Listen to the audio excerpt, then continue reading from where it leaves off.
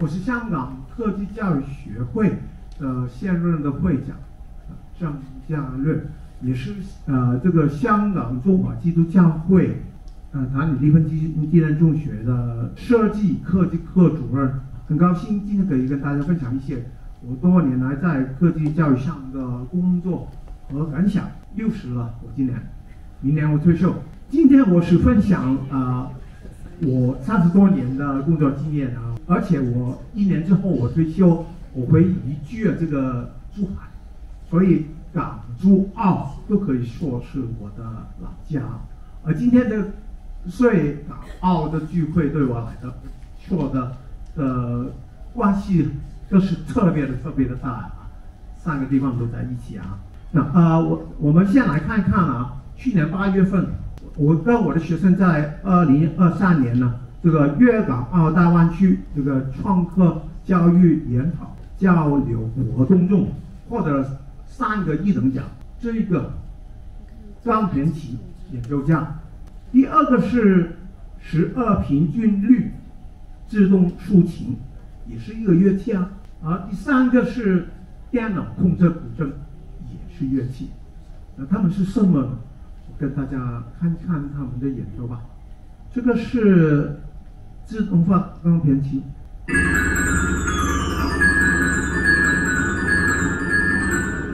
呃，一般的一个音乐家能演奏的速度是一百四十，但是我们呃呃开呃开发的这个呃这个乐器。他们在展示他们的乐器的威力啊。因为这是啊，这个是古筝。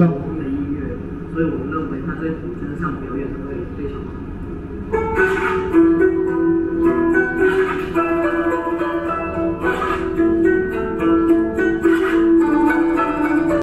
其实跟古筝差不多。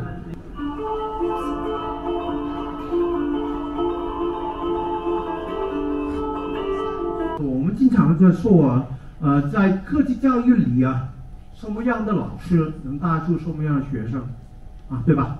而刚才大家在看我的学生。他们都很明显是把科技跟音乐放在一起去创作。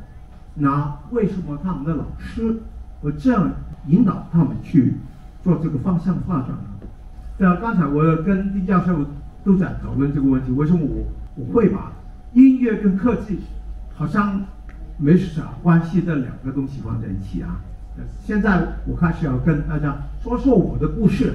曾有一个很有学问的朋友跟我说，人生有三个境界，啊，第一个是见善是善，第二个是见善不是善，最后是见善还是善。我总结了我的一一生的在科技教育上的历程，也是有三个阶段。因为我在呃一九八六年开始教科技的时候，呃，这个是年轻的我，跟现在好像好像差不多吧。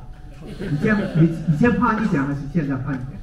你说，现在差一点。现在上不是这个以前以前差一点对吧？哪一个？中间呢。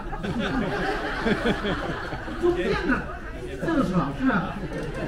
这一九八六年，就是学生现在都五十多岁了，因为在那个时候我是刚刚毕业第一年当老师。因为我们在练师范的过程是学习如如何教学生解难，啊，处理材料，还有就是锻炼学生的呃动手能力，还有兼顾这个设计的美感、结构等等。当时呃计算机还没有普及，然后更不用说联网啊什么的，呃电脑控制这些都没有，所以我们教学内容偏向于工艺木工。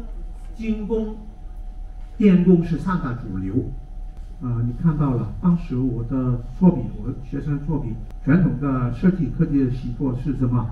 都是一些用物料为主，用阿克力为主的一些小工艺，对吧？就是一些小动物啊，嗯，什么树立啊之类课外的活动。我教一些比较年纪大的学生，比方高中的学生，做一些好像这这些木工家具。而且这个小，我最近和我还跟他一起吃饭。他说啊，老师，你当年教教我做的家具，现在还放在家里用，证明他是如何重视。他连自己动手做，那个这是我们工艺老师、我们科技老师很喜欢见到的。可是也是差不多这个时期啊，啊九十年代了。你看这个这个报价是一九九六年，对吧？我已经开始用一点点的电脑放在设计科技的教学项，那个时候是非常非常的前卫。而焦田中现在这个学生，他已经是博博士了，他已经是博士了。我还要到这个理工大学去听他的课，可能是因为我个人有一些音乐的基础啊，所以我竟然有机会兼任这个音乐课的主任，这个很奇怪的啊。呃，有因因为我自己有一个科技背景呢，所以我走的路跟一般的音乐老师不同。当一般音乐老师在弹钢琴的时候，我在玩电脑；当他在唱美声哦哦哦的时候，我在唱卡拉 OK。啊，当时还没有卡拉 OK，一九九九六年还没有卡拉 OK，但是我自己做电脑音乐去唱卡拉 OK。所以我当年一定有自己二千年，我已经有自己的音乐室。二千年，我在还在著书，写这个电脑音乐全攻略，不略就是我的降价略的略 啊，全攻略。这个书还在图书馆见到，因为我卖不去，啊卖不去，剩了很多。啊，这一个变化迎来了我的第二个科技的阶段。我觉得是我建科技，不是科技的年代，我同时管理两个。一点关系也没有的两个部门。当年我们香港的行政长官董建华拨出了五十个亿建立这个优质教育基金，那当是在一九九八年启动的。同时，任教音乐啊，呃，还有一点科学啊，还有电脑啊，还有什么设计科技，所以我是非常有这个底气去申请这个这个拨款的。这三个放在一起，我申请了多少？我申请了二百万，二百万在一在二千年不是一个小数啊！而且啊，这三个科目当年呢已经全面电脑化，还有我们建立了一个校园电视台，是当时是一个很了不起的项目，全香港也没有。我们是应该是第一啊，但是在这个时期，我已经没有怎么叫这个呃设计科技了，我花了很多时间在音乐，我转去修读音乐。我在这个时期啊，我我的在英剧英国的呃音乐学士，还有我在北京中院学院的硕士，都是在这个时期完成的。从一个科技人变成了一个音乐人。那但是那个时候，你看到我在指挥一百多人的乐队啊，跟我之前在锯木头啊、呃玩电脑，完全变成了另外一个人。你看，一百多人，在这个时期，我虽然是教音乐，但是我的铁头功一天也没有荒废。那为什么这样呢？因为我每天接触这么多的乐器啊，这么多的乐器的乐乐器会坏嘛，然后又把它们维修。虽然是教音乐，但是维修我也跟我的学生一起去研究。当时我们用一些废料去制作这个环保泡芙，也拿了很多奖。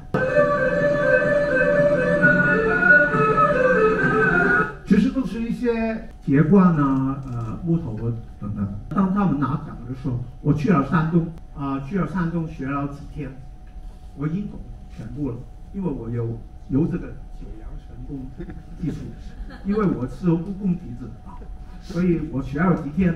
老师，我没有什么教你呢，我回来做了很多个二胡，这些都是我的作品。啊，懂拉二胡的的朋友应该认识，这是叫白用先生啊，他当年还拜我做的二胡，可是他现在不在了。还有就是另外一项研究，就是管风琴的研究。我在我的学校里面做一台小风琴，但是它经常跑调，因为我的学校在山上，这个气候、这个温度，经常硬就是呃变调，所以我专去研究电脑管风琴。刚才有人问我什么是电脑管风琴，电脑管风琴做了很多台，然后在上海有一会。光启音乐学院的他的校长，他过来香港找我，问我能不能去内地教他的学生去做这个管父亲，我一口答应了，我做了这个坐台。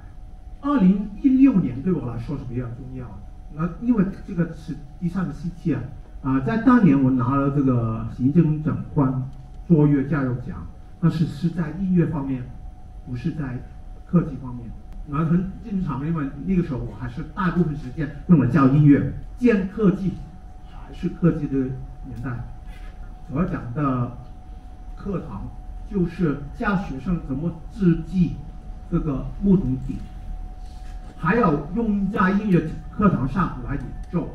二零一五年是香港呃的政府大力推动这个 STEM 教育，差不多每一科都要有这个 STEM 的元素，所以在音乐上加上这些 STEM 的元素，让我拿到这个奖。但是拿了这个奖之后我呢，我经历了很不一样的人生。之后啊，教育局向我交手，我之后有四年时间在教育局里面支调，帮助很多不同的老师一起研究他们的 STEM 教学团队。我教了很多学校，我差不多教了二三千人了吧，做乐器，一般都是做这个啊木吉琴啊、小吉他，还有这个刚才我说的那个呃三 D 打印的木桶底。